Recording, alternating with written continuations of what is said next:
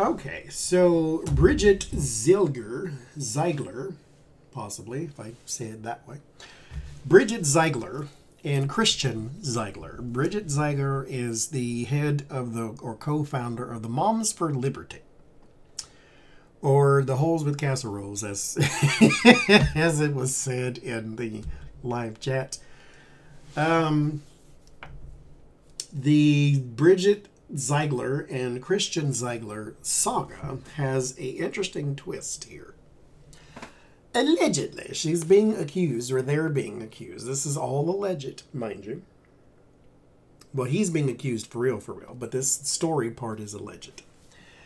Because they're very anti LGBT, and what is being lofted at them right now is that Bridget Ziegler and Christian Ziegler have been having a threesome with a outside woman. So she has been in a, and this has been going on for some time, mind you, apparently. So this woman, Bridget Ziegler, has brought another woman into her bedroom with her husband, and there you go.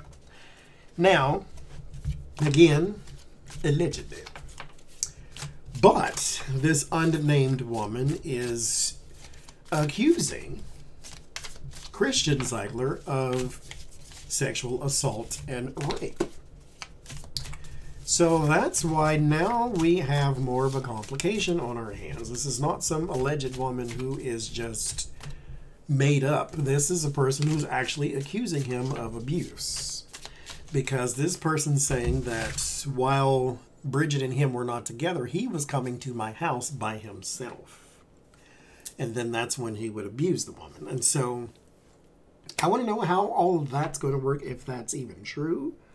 Because, mind you, this is all an accusation and allegedly. But is there a third woman in their relationship that Christian Ziegler has been abusing?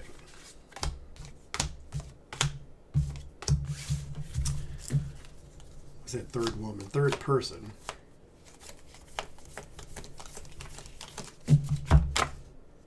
Uh, well, there's your lover's card. You know what to. Um, the lover's card is currently, this is why astrology and tarot is not my favorite thing. This used to be Taurus. That's used to be its corresponding zodiacal thing.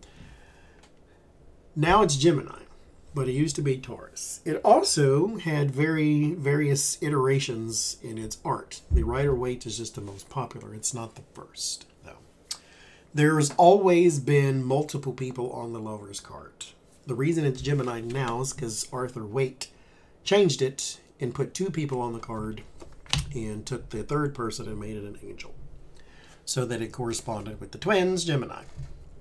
But there were three people on the card one man, two women.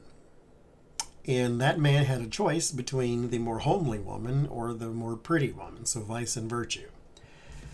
And then there were other cards that had the Cupid on it that would sort of match people together. And so, anyway, it's interesting that comes up. It comes at the. Anyway, so we start with the Six of Pentacles, sharing time, money, information, and the King of Wands. Hmm. Okay. The High Priestess. Okay.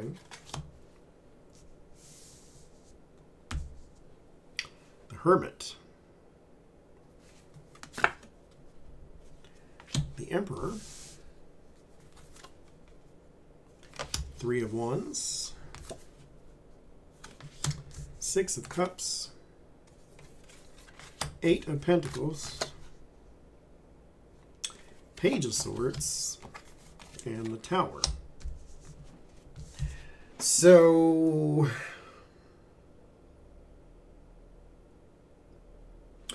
I would not say abuse, but definitely that this situation exists. That there is another person in their relationship, which, again, we have to say every time um, I don't care personally. It's your house, it's your relationship. Do what you want to do. The reason it becomes focus is because you're a hypocrite. And then you go out in public and then you say anti this and anti that, but you're doing all of it. And so that's when all of us get to point and wag the finger. That's why this comes up at all. And so here you have the Six of Pentacles and the King of Wands. There is sharing time, money, or information. So this is some sort of payout. This person, and it's not always money or whatever, but this person is getting something from him. I don't get abuse. I don't get anything of that nature. Um, the Six of Cups, but there is no innocence there. So there, this situation exists, but it is not abuse. High Priestess and the Emperor. There are more, if you ask me, allegedly. It's not just this one woman, but he has a lot of secrets there when it comes to giving out. So there also may be some people he's paying as well. So he, there may be a prostitute or two or something of that nature. But yeah, it this this this definitely exists. Um, I don't know if that woman works for them or not, but there's possibly someone that does work there and they're getting a kickback too. This may be blackmail because they may know and are being paid to keep silent.